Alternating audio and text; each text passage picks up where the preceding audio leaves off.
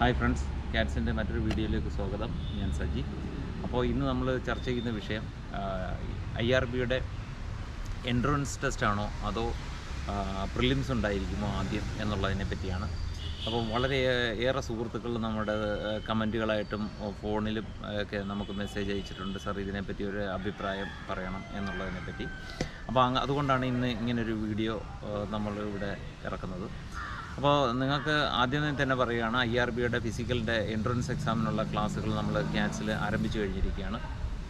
കൂടാതെ അടുത്ത ആർമി റാലിക്ക് തയ്യാറെടുക്കുന്ന കുട്ടികൾക്കായിട്ടുള്ള ക്ലാസ്സുകൾ നമ്മൾ ആരംഭിച്ചിട്ടുണ്ട്. ഓക്കെ അപ്പോൾ നമുക്ക് ഇനി സബ്ജക്റ്റിലേക്ക് കിടക്കാം. അപ്പോൾ ഐ ആർ ബിയുടെ നോട്ടിഫിക്കേഷനിൽ വളരെ ക്ലിയറായിട്ടും വ്യക്തമായിട്ടും നമ്മുടെ എൻട്രൻസ് എക്സാമിനെ പറ്റി പറയുന്നുണ്ട്. അത് നിങ്ങൾക്ക് എല്ലാവർക്കും അറിയാവുന്ന കാര്യം തന്നെയാണ്. മൂന്ന് കിലോമീറ്റർ പതിമൂന്ന് മിനിറ്റ് കൊണ്ട്.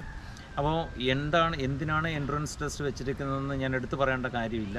എങ്കിൽ തന്നെയും ഇപ്പോൾ ആദ്യം ഉണ്ടാകുന്ന ഒരു ക്രൗഡിനെ കുറയ്ക്കാൻ വേണ്ടിയിട്ട് തന്നെയാണ് എൻട്രൻസ് ടെസ്റ്റ് വെച്ചിരിക്കുന്നത്. നമ്മൾ ഉദ്ദേശിക്കുന്ന രീതിയിൽ അത്ര ഈസിയുള്ള ഒരു കാര്യമല്ല. അപ്പോൾ എൻട്രൻസ് ടെസ്റ്റ് നോട്ടിഫിക്കേഷനിൽ പറഞ്ഞിട്ടുള്ള സ്ഥിതിക്ക് അത് നൂറ് ശതമാനം അങ്ങനൊരു സംഭവം നടത്താനുള്ള സാധ്യത വളരെ കൂടുതലാണ്. ഓക്കെ ഇപ്പോൾ നമ്മുടെ കഴിഞ്ഞ പോലീസ് ടെസ്റ്റിന് പ്രിലിംസ് എക്സാം ഉണ്ടായതുകൊണ്ട് നമ്മുടെ മേഖലയിൽ വളരെ ഏറെ ചർച്ചയുള്ള വിഷയം പ്രിലി ഐ ആർ ബിക്കും പ്രിലിംസ് ഉണ്ടാകും എന്നുള്ളതാണ്. നിങ്ങൾക്ക് എൻട്രൻസ് എക്സാം വെച്ചിരിക്കുന്നിടത്തോളം കാലം അത് ഉണ്ടാവാനുള്ള സാധ്യത വളരെ വളരെ ഏറെ കുറവാണ്. ഇല്ലെന്ന് തന്നെ വേണമെങ്കിൽ നമുക്ക് പറയാം. കാര്യം എൻട്രൻസ് എക്സാമിൽ തന്നെ വളരെ നല്ലൊരു വിഭാഗം ഇതിനകത്ത് വാഷ് ആയി പോകാനുള്ള സാധ്യത വളരെയേറെ കൂടുതലാണ്. കാരണം മൂന്ന് കിലോമീറ്റർ പതിമൂന്ന് മിനിറ്റ് കൊണ്ട് ഓടുക എന്ന് പറയുന്നത് അത്ര എളുപ്പമുള്ള കാര്യമല്ല. ശരിക്കും അതിന് ഹാർഡ് വർക്ക് അതിന്റെ ആവശ്യമാണ്. നല്ല രീതിയിൽ പ്രാക്ടീസ് ചെയ്യുന്നവർക്ക് മാത്രമേ ആ തരത്തിലൊരു പെർഫോമൻസ് കാഴ്ചവെക്കാൻ പറ്റുള്ളൂ. അപ്പോൾ തന്നെ സ്ട്രെങ്ത് വളരെ കുറഞ്ഞു പോകാനുള്ള സാധ്യതയാണ്. കൂടാതെ തന്നെ നിങ്ങൾക്ക് ഇപ്പോൾ അറിയാം നമ്മുടെ കോവിഡ് റേറ്റ് വളരെയേറെ കൂടി വരികയാണ്. അപ്പോൾ ഒരു ക്ലാസ് റൂമിലിരുത്തി ഇങ്ങനെ ഒരു ക്ലാസ് എടുത്ത് നമുക്ക് എക്സാമുകൾ കണ്ടക്ട് ചെയ്യാനുള്ള ഒരു സാഹചര്യമല്ല ഇപ്പോൾ നമ്മുടെ സമൂഹത്തിൽ നിലനിൽക്കുന്നത്.